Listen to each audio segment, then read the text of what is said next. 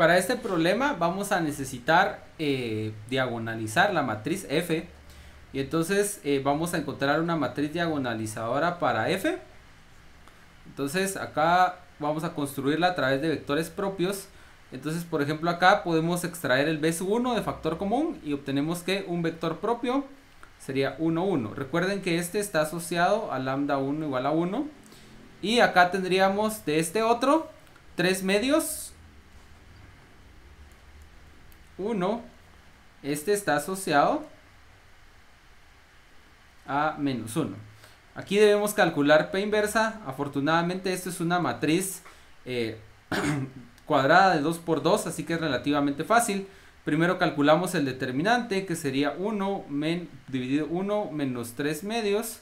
Ese es el determinante. Por, y acá tenemos que estos dos números cambian, entonces eso no va a cambiar en nada. Y estos dos cambian de signo.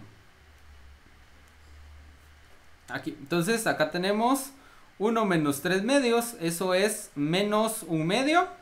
Así que eh, aquí multiplicaríamos por menos 2. Entonces menos 2, 3, 2 y menos 2. Acá tenemos la matriz inversa de P. Y es fácil verificarlo, ¿verdad? Ahí podemos ver que efectivamente sí se cumple que sea inversa. Y entonces nosotros sabemos que esta matriz diagonal se puede escribir como P inversa por F por P. En este caso particular, esta matriz diagonal es valor propio 1, valor propio menos 1, así.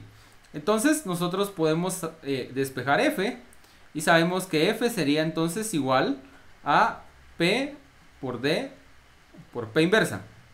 Y nosotros sabemos que al elevar esto a una potencia como 2020, nosotros obtendríamos P por la matriz elevada a la 2020 por P a la menos 1.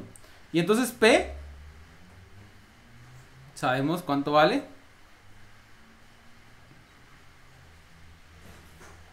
La matriz diagonal serían los valores de la diagonal elevado a la 2020. Eso sería 1, 0, 0, menos 1 a la 2020. Por ser par es 1. Y de este lado tenemos menos 2, 3, 2 y menos 2. Entonces cuando multiplicamos esto, que es la identidad por cualquier matriz, pues me va a quedar esta misma matriz que es P inversa. Y cuando multipliquemos P inversa con P, eso me va a dar la identidad.